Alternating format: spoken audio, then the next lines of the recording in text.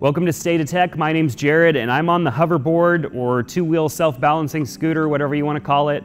Um, and we're going to talk about dismounting. How do you get off of this thing? Once you've climbed onto it and you've managed to kind of gain your balance and you know all that good stuff, which we have a couple of videos on. I have a video that shows you a couple of different ways to mount the mount this scooter without hurting yourself, and then one on how to practice maneuvering it.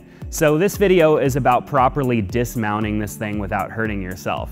Um, if you've ever ridden a skateboard before, you know that one of the things that typically happens if you don't get your feet out of the way when you're trying to get off of a skateboard is that you fall.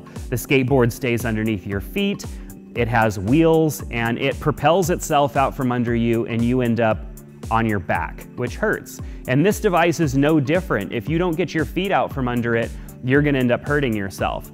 And so I've kind of done what I did when I used to skateboard as a kid, which is just kind of kick my feet out in whatever direction I'm going. So if I'm in a tight quarters where I don't have a lot of room to get off of this thing, I'll jump behind it.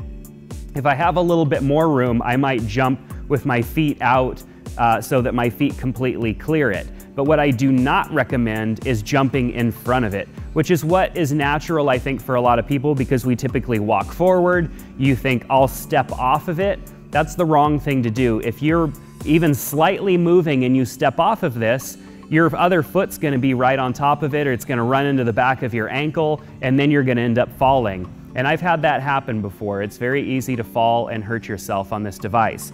So if you don't have something to brace yourself with, which having a ladder, not a ladder, but a table or something that you can use to brace yourself with uh, really helps because you could just kind of pop right off of it like that.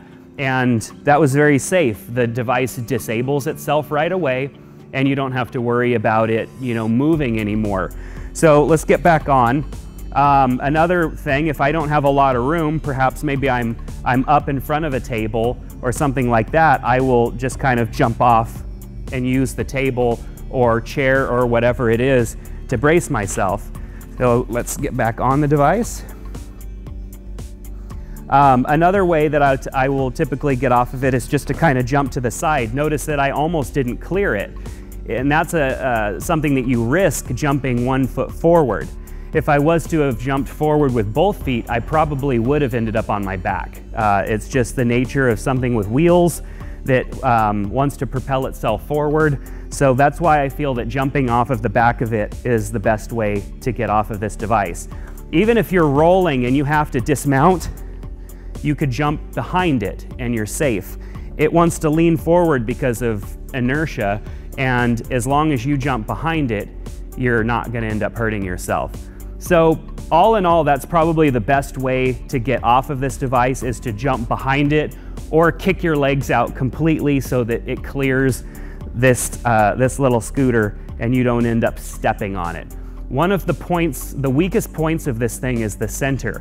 When we broke the first one, it's because a foot came down right in the middle of it. When you jump off, you wanna regain your footing. So you push your feet down so that you don't fall. And if you do that right in the middle, which is the weakest point of this thing, you're gonna snap it in half and then you're not gonna have a very nice scooter anymore. Um, you won't be able to use it. They're almost impossible to fix because of the cheap metal that they're made out of. Um, this particular model we ordered from Amazon simply because Amazon has a good return policy uh, and as long as you order at Amazon Prime, you aren't gonna have a problem returning it and getting a refund if you break it within the first 30 days.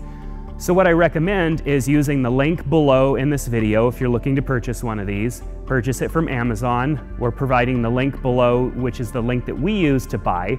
We're not selling these things. This is just the link to the seller that we bought from. Particularly good device, hasn't had any problems with it, and we've had it for about a month now. So Definitely check out our other videos if you want a little bit more information on how to ride this, how to learn how to use it, and even an in-depth review of the device on the State of Tech YouTube channel. And subscribe if you're into tech and you like some of the stuff that we do. We'd love to have you around to watch more of our videos that we produce in the future. So thanks for checking out this video, and we'll see you soon, hopefully. Thanks.